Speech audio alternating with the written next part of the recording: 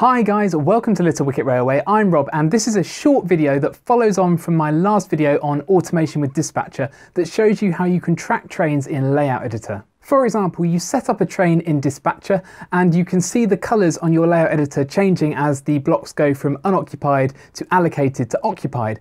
But wouldn't it be better to have the train's name also move across the screen so you can keep track of it? Well, it turns out it's really easy to do that in JMRI and I will show you how in this video. Sorry I didn't put it in the last video, but I only discovered how to do it after I'd uploaded. If you're finding these videos useful, then please give me a like and subscribe. Let's get started. Okay, so we've got our layout from the um, automation tutorial. So we'll go to edit mode and then what you want is this block contents um, radio button over here.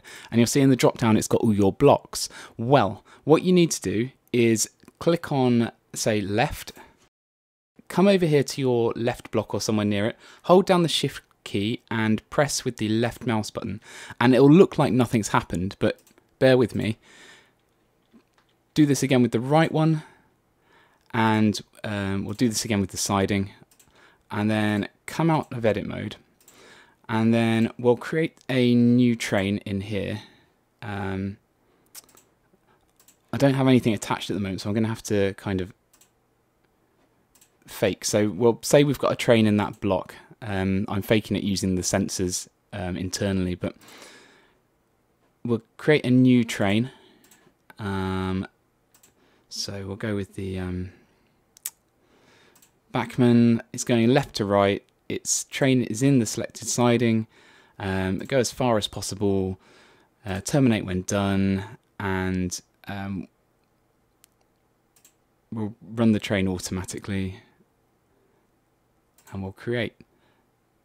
And what it does is it shows which train is in that block and which train is allocated in the section ahead of it. Um, so now if we move our train uh, or simulate moving our train using the sensors over into that right hand block and we'll deactivate this one. It's now moved into the right hand block so the Bachmann Next 18 is showing next to that block and this block's become clear. So that's a really useful way of doing some basic train tracking um, combined with dispatcher.